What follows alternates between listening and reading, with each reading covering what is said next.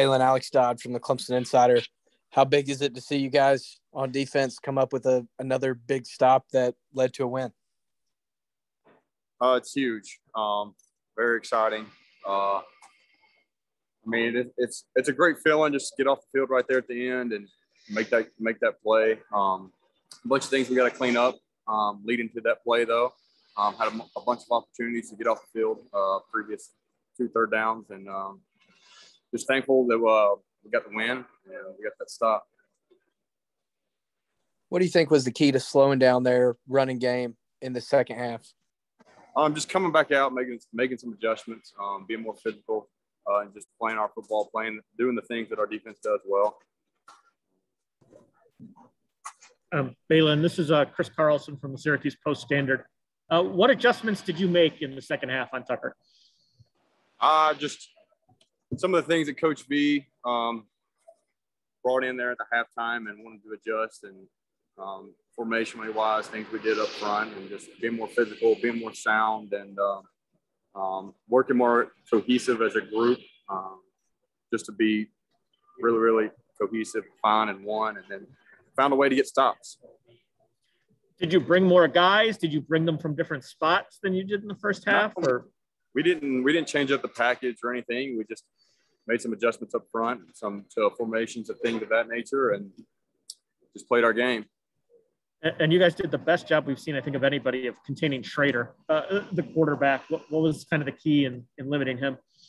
Uh, he's a great player, great talent. Um, kids, kid can run with his legs. Uh, super talented guy. Um, just being ready for um, whenever when he scrambles, he can make plays and trying to confine him and keep him inside so that he can't get out and make those plays, those extra long plays with his legs. Thank you. Does does it feel just like second nature now that you guys are just gonna you know go down to the wire and and have to get these stops? Is it is it something like in that scenario? Like we've done this uh, so many times this year. I mean, we play we play 60 minutes and we're gonna give it everything we got. Um, um, we're not taught anything less. Um, we're ready for anything that comes our way. Um, we're we like to be out there. The game when it stop. we want to be out there. It's our mentality. Um, we expect it, and when we get out there, we're going to find a way to win. Hey Baylon, it's Nikki. Knowing from TigerNet, knowing that this is kind of your last season, are you taking extra time to enjoy these wins and these moments with Coach V and Wiskolski? Uh, yeah, for sure. I would just say, especially this will be my last year. I've had a blast. Um, had a blast with the guys. Um, a bunch of the young guys make it fun. Older guys make it fun. Um, we really came together. Um, you got to celebrate every win. Um, I know it's tough. Um, and it may not be flashy or it may come down to the, like those last couple plays at the game, but we, we always find a way. We'll find a way to keep winning. And uh, we look forward to it. And yeah, we celebrate every win.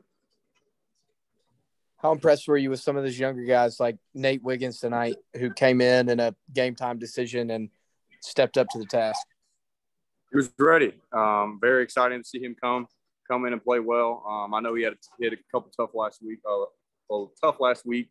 Um, just on the practice field, things of that nature. He came in this week, was ready and responded and had a great game. Proud of him.